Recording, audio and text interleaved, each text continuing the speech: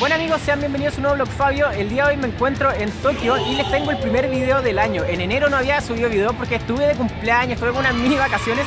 Pero bueno, ya volví y hoy día les traigo un video donde vamos a estar recorriendo el barrio de Kabukicho, que es donde opera la Yakuza, la mafia japonesa, también viendo productos extraños de Japón que a todos nos llaman la atención. Y finalmente, como es un evento 100% real de anime aquí en Japón. Antes de empezar con el video, los quiero invitar a que me sigan en mi cuenta de Instagram, que es Fabio Torres CL, porque siempre estoy subiendo contenido en la red social que más actualizo, así que únanse a la comunidad. Ahora sí, chiquillos, acompáñenme en este nuevo vlog irreverente de su amigo Fabio Torres.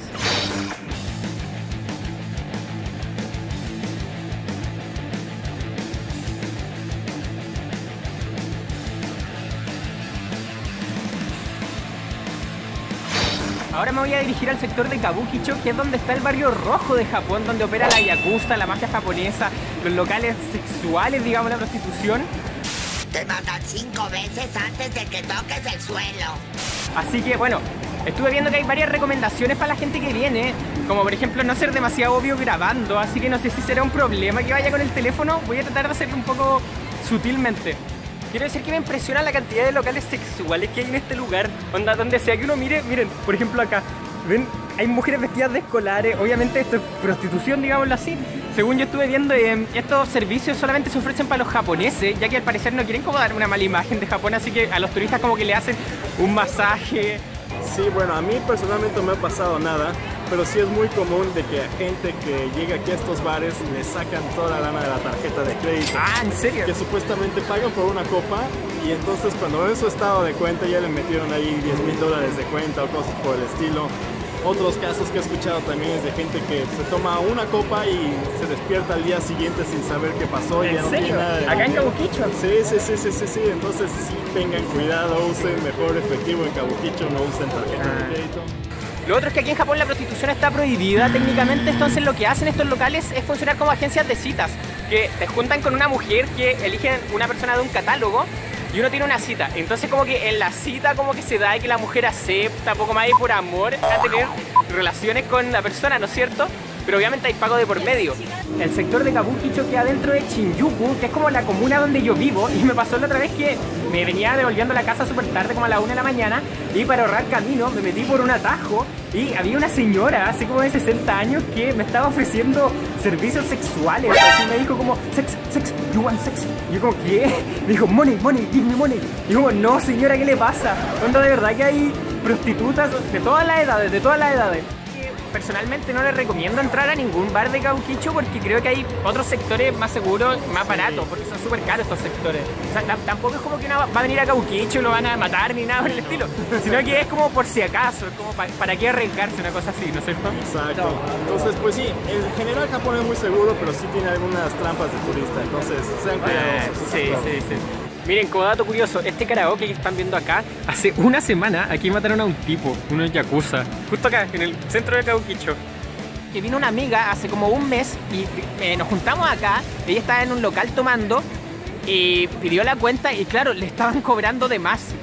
Otro precio y yo me- obviamente me enojé y le dije al tipo que iba a llamar a la policía si es que no cobraban el precio correcto y el tipo como que dijo como ah perdón oh sí me equivoqué en la cuenta y se hizo como el weón ¿No le ha pasado cuando ven anime como que los personajes de repente tienen los pelos parados y se ve como súper natural, digamos, hasta se ve bien, hasta se ve cool, pero después como que transportan esos personajes a la vida real con un live action y se ven como súper ridículos, se han fijado como que lo pegan en la vida real sus pelos gigantes.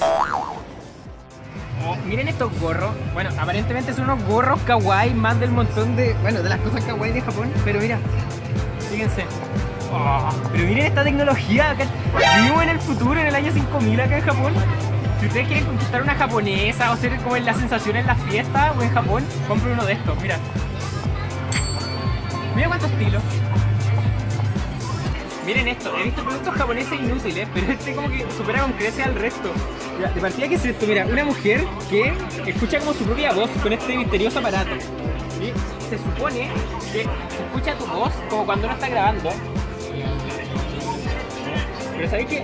Es malísimo, ¿no? Malísimo. Mira, cuesta 20 mil pesos chilenos. 20 mil pesos. Esta basofia, esta pedazo de plástico de mala calidad. ¿De verdad hay gente que le sobra tanto el dinero como para comprar esta basura? Y se supone que quema algunas calorías, dice ahí. Lo cual dudo que sea así. Fíjense que me regalaron tickets para probar realidad virtual, porque aquí en Japón le encanta regalar cosas, como que no sé cómo ganan plata si todo lo regalan. Pero bueno, vamos a probar la realidad virtual gratuita de Japón. Eh, oye, quiero decir que estaba increíble la realidad virtual, pero... Fue increíble, o sea, me puse una paliza, ya no quiero Sí. volver a jugar eso. Bueno, yo la había visto y yo dije, no, debe ser aburrido, lo de siempre. No, pero a mí se me impresionó, de verdad, quizás pagaría. Muy bien hecho, si te sientes ahí, así te mueves, todo, Sí. no, hay, nada, o sea, está plano Sí. todo, no sientes todo. Muy cool. Sí, está, está buenísimo. El día de hoy me encuentro caminando a un evento que se llama Jump Festa, que es de la editorial que maneja Dragon Ball, los mangas de Dragon Ball, de Boku no Hero, en verdad de muchos mangas, me imagino que la deben conocer. Así que eh, vine a ver cómo es un poco esto de los eventos de anime acá en Japón, porque este es gratuito. Esto es un concurso de figuras que hicieron, dice acá abajo. Y fíjense, por ejemplo, esta la hizo un mexicano, ¿ven? Y tenían que armar su figura y después la reproducían, la vendían y todo. Y miren, tan increíbles las figuras ganadoras, mira, de Japón, Aquí hay uno de España. Oh, pero cuánta. De verdad, hay que tener demasiado talento para hacer este tipo de figuras, miren. Y un, concurso internacional de figuras. Ya, pero estos, estos tipos se pasaron. Estos fueron. ¿De qué país? De Corea. Ya, pero ¿qué clase de brujería es esta? Los japoneses con su ciencia del futuro. Onda, son como los libros de Harry Potter. Solo en este libro están todos los mangas de la historia. Increíble. Miren, me regalaron un manga como de unas mujeres sensuales. Onda, mira los tipos simpáticos. Te regalan pero demasiadas cosas acá. No sé por qué me habrán regalado esto. Oh, fíjense, este banano de Tokyo Ghoul. Está demasiado genial andar con esto por la vida, mira. Increíble. Ah, mira, me da risa, ah, estaba conociendo a Goku, Vegeta y Broly. La tía está súper emocionada, como si fueran los verdaderos, como si Goku real de la vida. Ah, no lo voy a creer. Que Justin Bieber, conocer a Goku es lo mejor que te puede pasar en la vida.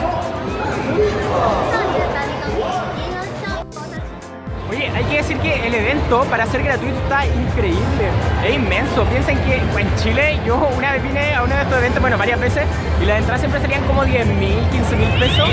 Y este es completamente gratis es gigante. Estoy impresionado.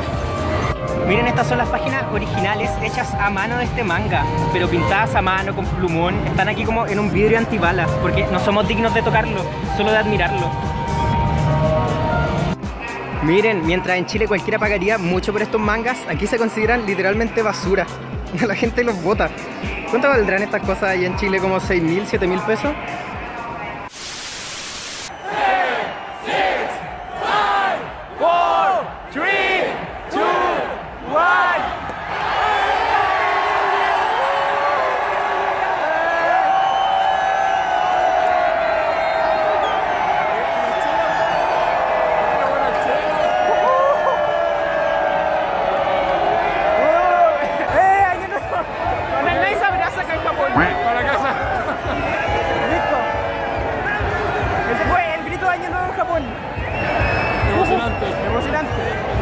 Estos son los únicos fuegos artificiales que he visto en toda la noche después del grito de Año Nuevo. Miren, ahí hay bandera anarquista, es como una protesta que hay, pero están poniendo reggaetón. Esa es su manera de atraer a la gente al anarquismo.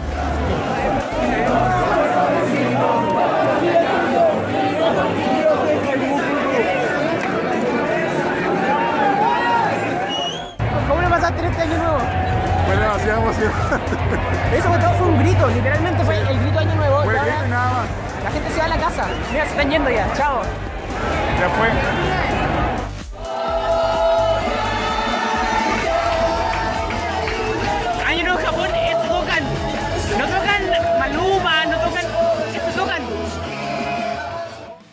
Bueno amigos, llegó la hora de despedir el video. Les quiero avisar que a partir de este jueves voy a estar subiendo video todas las semanas, al igual como lo hice en diciembre, para que estén súper atentos al canal. También los quiero invitar a que descarguen la aplicación Rappi, que sirve para pedir comida a domicilio, comprar cosas en verdad de todo tipo. Incluso pueden llamar a una persona para que venga a pasear a su perro. Bueno, si descargan la aplicación, ingresan el código Fabio Invita, van a recibir automáticamente 30 mil pesos para gastos de envío. Así que aprovechen porque entre los primeros que ingresan el código. También les quería agradecer de todo corazón por todo el apoyo que me han mandado en todas las redes sociales, ya que sin ustedes este canal de verdad que no existiría. Así que de verdad, chiquillos, muchas gracias. Y recuerden suscribirse al canal porque ahora la meta es llegar a los 700.000 suscriptores. Vamos que se puede, estoy seguro que podemos lograrlo. Y recuerden darle un like al video. Y nos estamos viendo la próxima semana en otro video irreverente de su amigo Fabio Torres.